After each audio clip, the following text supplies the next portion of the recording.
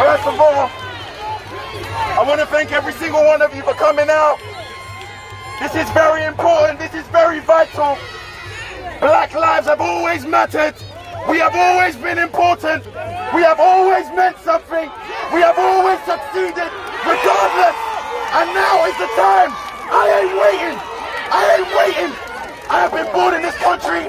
I'm 28 years old, born and raised in London. And for time, every black person understands and realizes the first time you were reminded that you were black. You remember, every black person in here remembered when another person reminded you that you were black. So none of you out there, all those protesters on the other side, protesting against what we want to do, protesting against what we want to try and achieve, burn you, because this is so vital.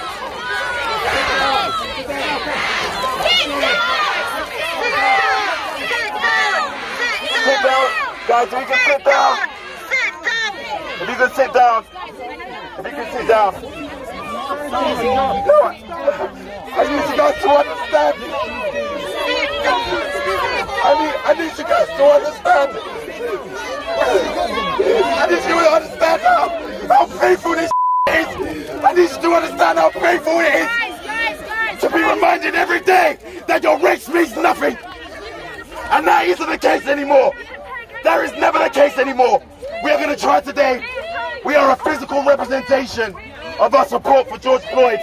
Bang on them! Bang on them! Bang on them! We are a physical representation on our support for Sandra Bland. Bang on them! We are a physical representation on our support for Trayvon Martin. We are a physical representation of our support for Stephen Lawrence. For Mark Duggan. It is very, very important that we keep control in this moment and we make this as peaceful as possible. Exactly. We make this as peaceful and as organized as possible. Because you know what, guys? They want us to mess up. They want us to be disorganized. But not today.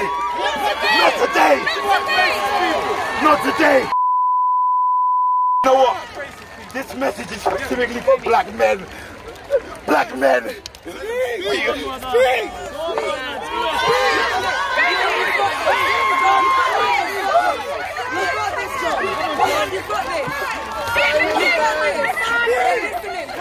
men, black men, we need to take care of our black women. We need to take care of them.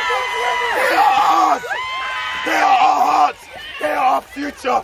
We cannot demonize our own. We are the pillars of the family.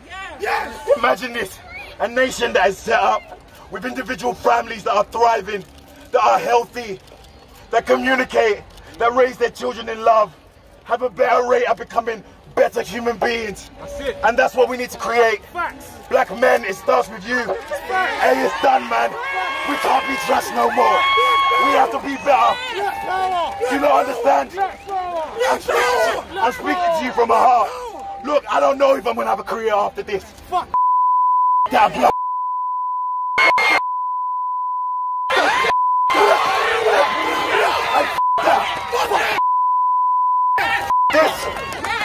today is about innocent people who are halfway through their process.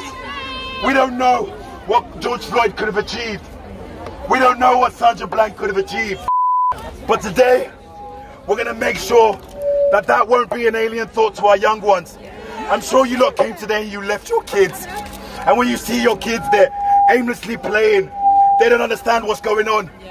Today is the day that we remind them that we are dedicated and this is a lifelong dedication. Facts. Guys, we don't leave here and stop, you know. We don't leave here and stop. This is longevity.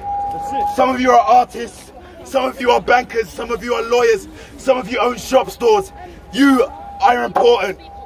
Your individual power, your individual right is very, very important. We can all join together to make this a better world. We can all join together to make this special. We can all join together